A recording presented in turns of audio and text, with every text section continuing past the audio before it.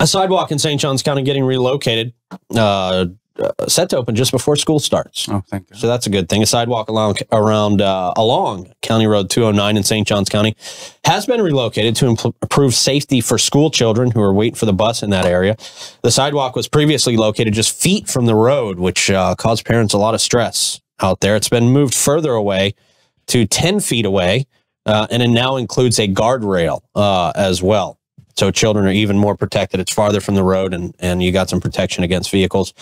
Sidewalk was relocated at a cost of about $800,000. The project was funded by a combination of state and uh, county money. It's expected to last for 20 years, this sidewalk.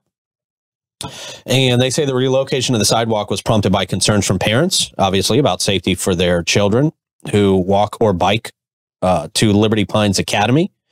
Uh, the St. Johns County Sheriff's Office told a uh, one of the news stations that there were 224 crashes Jeez. on the eight mile stretch of road uh, between 2019 and 2021. 224 just in that little general area. Good grief.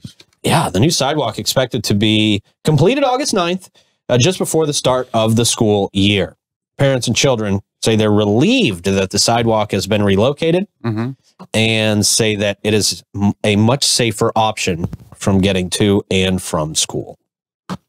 So that's good because this was a big deal, man. Yeah. I heard a lot of parents, a lot of parents were very scared for their children. As you know, parents are always worried about the safety of their children, obviously, but this is uh this is a much safer situation now. So Cool. it seems like people are, are a lot happy Lots with of that. accidents. No. So Yeah, man, that's that's just scary, scary. What are we doing? Slow down, ho. Official traffic advice from Davey. Slow down, ho.